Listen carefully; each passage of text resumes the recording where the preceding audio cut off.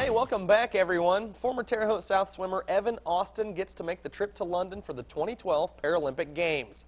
Now, the photos you're seeing are a couple of Austin out of the trials this weekend. The team was announced following those trials in Bismarck, North Dakota this morning. Austin becomes one of just 14 members on the squad. Now representing the Terre Haute Torpedoes Swim Club, Austin made his case for the national team loud and clear in Bismarck.